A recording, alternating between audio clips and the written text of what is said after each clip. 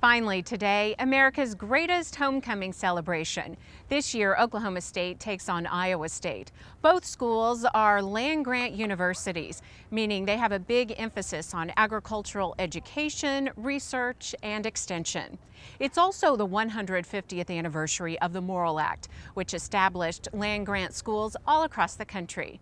And as it turns out, we have alumni from both schools working in the Ag Division here in Stillwater. We're joined by Jody Campiche, our Ag Policy Specialist, and Tyson Ochsner, one of our soil scientists. Guys, thanks for joining us here at the stadium. And we got you guys together to talk a little bit about the schools and agriculture in each of the states. Let's compare and contrast the, the two in terms of ag. Well, in Oklahoma, agriculture is extremely important to our economy.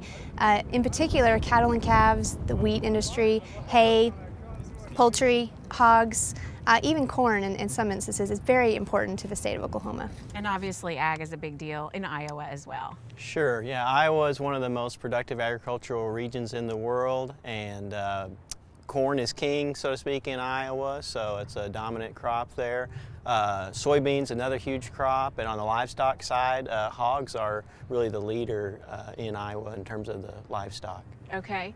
Um, storms are a big deal in both states. We know Iowa State's the cyclones. But let's talk about tornadoes. Jody, you've done a little bit of research. You guys have been talking about storms on the way over to the stadium. Yeah, unfortunately, I don't know if this is the statistic that Oklahoma wants to be a number one in, but we actually do lead Iowa in the number of tornadoes. We're very close when it comes to uh, the number per 10,000 square miles. I think Oklahoma ranks about number two, Iowa's about number four. So a lot of storms in both states. You've lived in both states. How do they compare just living there?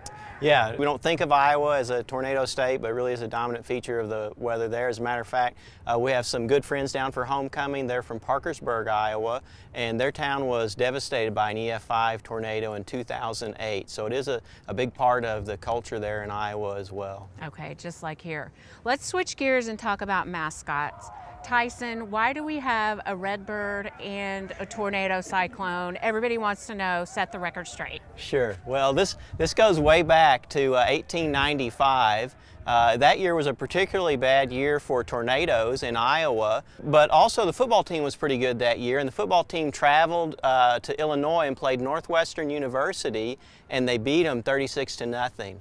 The next day in the Chicago Tribune, the headline read, Struck by Cyclone. And the name kind of stuck, and so that became their name with the Cyclones. Later on, they adopted the mascot, Cy, uh, which is a cardinal because their colors are cardinal and gold.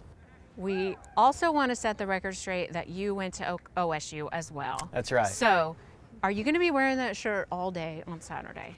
Well, I'm proud to wear Iowa State colors when I have a chance, but when it comes game time, it's going to be orange power all the way for me. Okay, and Jody, orange power? Of, of course. Every day, right? Yes. Okay.